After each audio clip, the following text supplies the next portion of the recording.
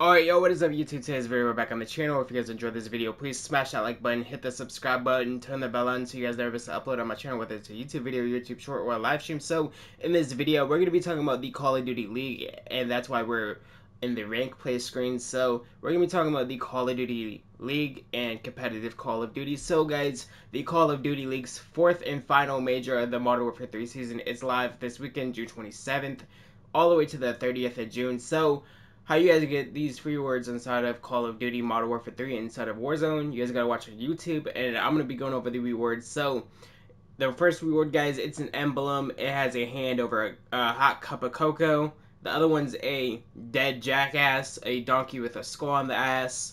The other one is a CDL skin rocking a skateboard. The other one is a pretty sick uh, Rival 9 blueprint, guys. And then we got some calling cards. The bomb down one, that one's kind of cool. Uh, spawn trap calling card, that one's kind of sick. Uh, this one's just a CDL skin one with a speaker, that one's kind of sick. And my favorite one that they're giving out is called the S and D star one. I'm gonna be rocking that one. So you guys can watch this at 10:30 a.m. PT, 1:30 p.m. ET. So go watch on YouTube. Make sure you guys have your Activision accounts linked to your, your uh, YouTube accounts, and uh, hope you guys enjoyed because I enjoy making these kind of videos, guys. Until next time, peace and love, baby.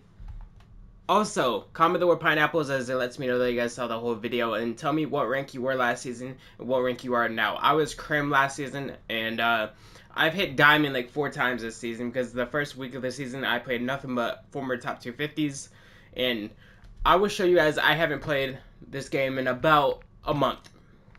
Statistically, a month.